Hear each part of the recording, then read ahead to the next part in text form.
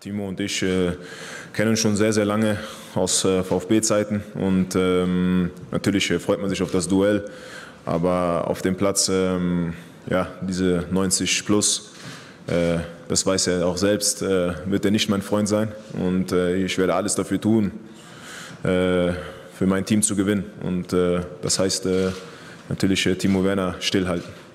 Ich weiß nicht, ob ich jemanden Angst mache. Ich, äh, ich mag es, äh, aggressiv zu spielen, aber aggressiv fair. Weil ich denke, dass, äh, das zeigt auch meine Statistiken. Also ich glaube, in den letzten fünf Jahren habe ich keine rote Karte bekommen. Und ich hoffe, dass es auch so bleibt. Und äh, ich versuche einfach nur hart zu spielen. Das ist, liegt in meiner Natur. Und äh, ja, mehr auch nicht. Für mich ist es natürlich immer wichtig, äh, vokal zu sein auf dem Platz und zu sprechen und äh, meine Mitspielern natürlich uns allen einfach das Leben auch etwas einfacher zu machen, sprachmäßig. Äh, also ich spreche auf dem Platz Spanisch und äh, ja, und ich glaube, alle verstehen mich.